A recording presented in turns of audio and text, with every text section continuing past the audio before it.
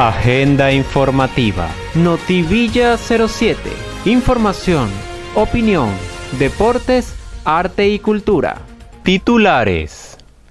Poder Popular del Valle de Tucutunemo realiza formación en pro de la constituyente. Representantes de la MUD se manifestaron frente al juzgado del municipio Zamora.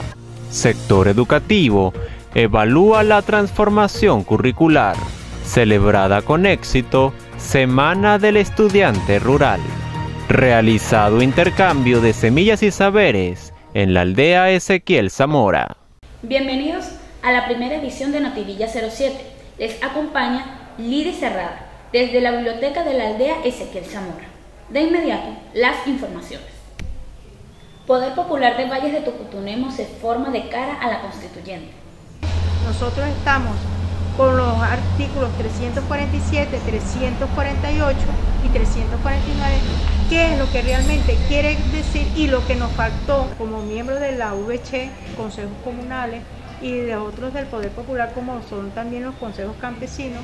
Nos estamos reuniendo por los distintos caseríos llevando la información con la constituyente, todo lo que necesitamos para dejar de seguir en, esta calle violenta que tienen los opositores y desconociendo nuestra carta magna. Estas han sido todas las declaraciones de nuestra compañera, quien pertenece al Poder Popular de la VC de los Valles de Tucutunemo, quien reportó para ustedes Bermari Jalagar. Volvemos al estudio Notivilla 07. Concejal de Zamora Francisco Álvarez declaró que tomarán acciones de calle en contra de la constituyente. Nosotros hemos planteado una agenda de protesta pacífica no violenta en las calles de Venezuela, eh, demostrando nuestro rechazo eh, a las políticas implementadas por el presidente Nicolás Maduro, específicamente desde el rompimiento del hilo constitucional, cuando a través de las sentencias del Tribunal Supremo de Justicia se buscó quitarle o se logró quitarle las competencias a la Asamblea Nacional. Por eso hoy hemos venido al Tribunal eh, Municipal a entregar un documento, un manifiesto del pueblo de Zamora, donde nosotros rechazamos el, este sistema judicial donde el que ha, ido protestando lo meten preso, aun cuando la fiscalía pide su libertad plena, quedan bajo eh, eh, las rejas, detrás de las rejas, por protestar. Estas han sido las palabras del concejal Francisco Álvarez en relación a la situación actual del país. Reportó para ustedes Yuneski Urbano. Sector Educativo de Zamora inicia reuniones y acciones culturales en pro de la constituyente de la Constituyente del año 1999, todos nuestros maestros y maestras desarrollaron una nueva forma de hacer la educación. Pero hoy bueno, estamos planteando, Y el día de hoy estamos reunidos con los liceos de media en este espacio de Valles de Tucutunemo y Parroquia Villa de Cura, un poco tratando de evaluar eh, qué dinámica y qué ritmo tienen en cada uno de esos espacios en marco de transformación curricular. Eh, ojalá que hoy eh, nuestras instituciones educativas puedan expresar sus propios propios ritmos, su propio desarrollo en marco de transformación curricular, porque de verdad es necesario poder evaluar en dónde estamos, ¿no? Para poder entonces hacer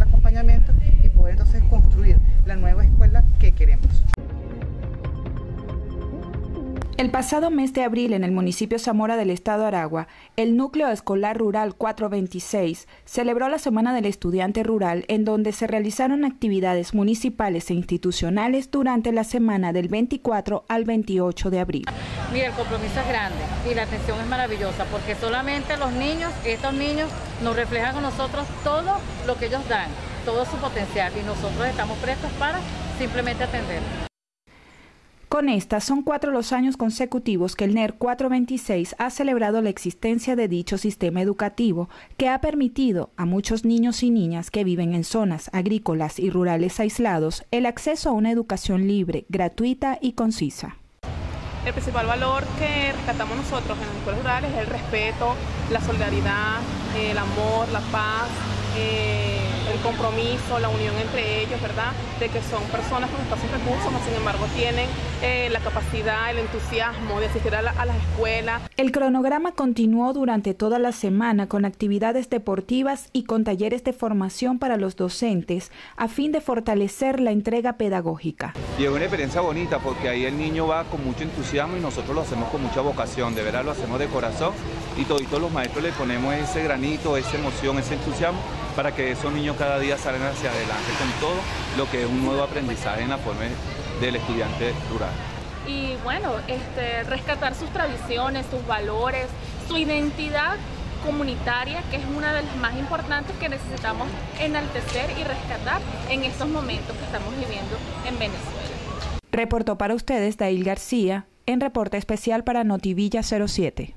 A principios de este año 2017 se llevó a cabo un intercambio de saberes y semillas denominado Un puño de vida, conmemorativo de los 200 años de la siembra del ilustre Ezequiel Zamora en las instalaciones de la aldea universitaria que lleva su nombre.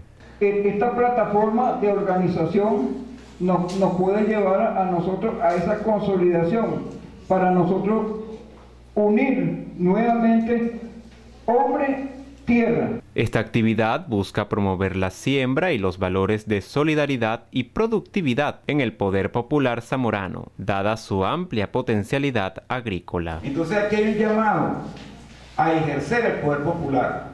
Este es un acto en honor y conmemoración a la siembra de Ezequiel Zamora. Y hoy es día de sembrar, de sembrar revolución. Java de burro. ¿Y se coloca el suelo así directo? Se puede hacer siembra directa, es una planta que crece grande desde el principio y alcanza como unos dos metros de como, como rastrera o enredadera. ¿Y luego sirve? Sirve para recuperar el suelo, este, aleja algunas plagas. Eh, hay gente que la consume tostada y molida como un fororo pero lo más común es utilizarla nada más como recuperar ella, es, ella es de bejuco, ¿verdad?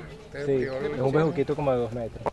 Valdremos lo que tenemos sembrado en nuestros conucos y nuestras haciendas y por eso yo invito al pueblo zamorano, yo invito al pueblo venezolano, al pueblo, a los pueblos que nos rodean, que tomemos la agricultura, que vamos a sembrar. En la cámara de Miguel Ortiz reportó para Notivilla 07 Jigmar Martínez. En deporte, balance de proyectos por parte de César Alvarado en este trabajo especial de nuestro compañero Bruno Gamboa.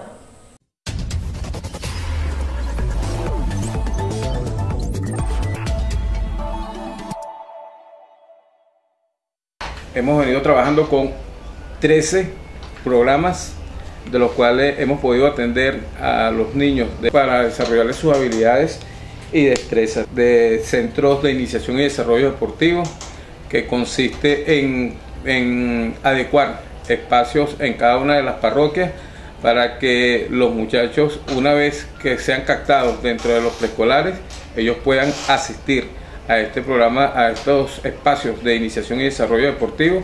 También tenemos el programa que tiene que ver con el deporte competitivo, y, alto rendimiento. Tenemos programas deporte social comunitario. También tenemos en el mes de agosto eh, nuestra cuarta caminata vuelta a La Palma.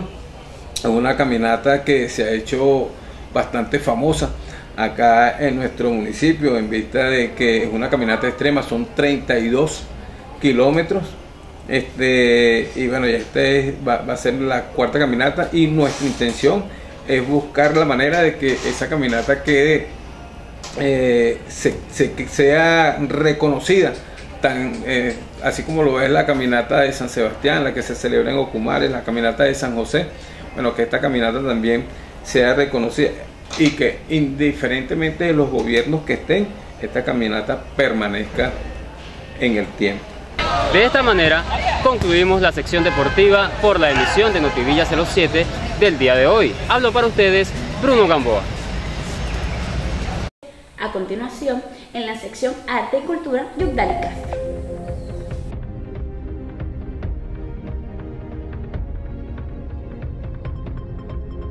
Hola, ¿qué tal? Bienvenidos a tu sección de arte y cultura del noticiero Notivilla 07. El día de hoy nos encontramos acompañados por el director de cultura del municipio Zamora, Tony Colmenares. Bueno, primero que todo, eh, decirles que están cordialmente invitados a las tres fases que hemos venido desarrollando intensamente en nuestro municipio como fue el hecho de venir en, primera instancia desarrollando un trabajo de ir al rescate de todo lo que es la infraestructura de la Casa de la Cultura que contó con más de 200 cultores, además del, personal de la Casa de la Cultura que, que están trayendo lo que es la parte del ornato, lo que es la parte de la pintura. Realizamos en las tres bibliotecas públicas del municipio de Zamora una, una serie de actividades que tenían que ver con la promoción y la difusión del libro en las diferentes eh, instituciones educativas, en las diferentes comunidades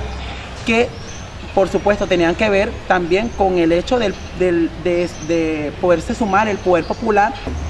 Asimismo, continuamos con lo que son los viernes culturales y los jueves culturales que son eh, tanto en las instituciones públicas como en las distintas zonas que nosotros tenemos aquí del municipio de Zamora. Es, importante hacer la gran convocatoria que tenemos a estas actividades. El mes de junio, mes de San Juan Bautista por excelencia, nosotros vamos a estar este, desarrollando este, una, una serie de actividades con los colectivos, con las individualidades, con los artesanos, con las artesanas. Esperemos que, bueno, hablar de la cultura del municipio de Zamora de realmente es algo impresionante. Nuestro Santo Sepulcro, nuestro este, acervo cultural inmaterial. Realmente, bueno, hacemos esta convocatoria a través de todos los medios de difusión, que nos sigan y que sigamos preservando la cultura, porque nosotros aquí tenemos en la Casa de la Cultura, tenemos, es eso, la cultura somos todos, colectivos todos juntos, unificados por una sola misión, la revolución de la conciencia es la cultura. Agradecemos mucho su balance al director de Cultura, Tony Colmenares, finalizando así nuestra sección de Arte y Cultura. Se despide de ustedes Yugdali Castro. Gracias, Yugdali. De esta manera, finalizó Notivilla 07. Hasta una próxima oportunidad. Les acompaño gustosamente Lidi Serrada. Y recuerden seguirnos a través de Twitter en arroba soberanía ZTV y en el canal de YouTube Zamora Televisión.